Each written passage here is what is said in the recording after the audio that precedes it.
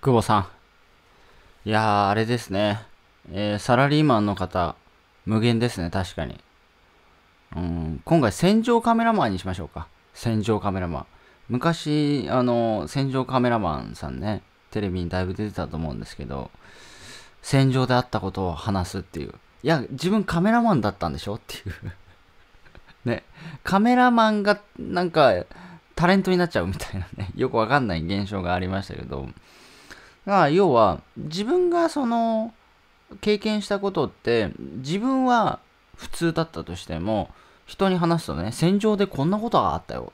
へえみたいな。でもその戦場カメラマンとしては戦場行ってるわけですから当たり前のことなんですよね。非普通の日常なんですよ。その日常が他の人にとっては非日常って話ですよね。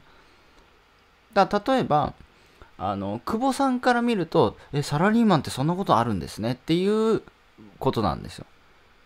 まあこれはもう分母の割合の部分はあるんで、サラリーマンの方が多いので、あの、へえ、サラリーマンってそんな、例えばなんだ、社長令嬢で昔からそのなんだ、あサラリーマンで働かない、働いたことがない人から見ると、なんだっけな、花より団子だったかなな、なんか忘れましたけど、なんかその、すげえその、金持ちのね、おお嬢さんがいて、一般の人はそうなんですか？みたいなね。なんか番組あっての気がするんですけど。っていう風な価値もあるし、一般に、自分が普通と思ってることにも、見る人によっては価値になるんですよ。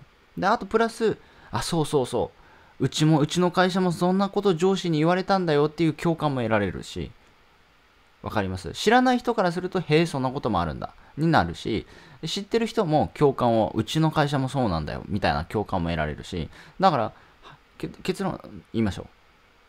発信しろ。いってらっしゃい。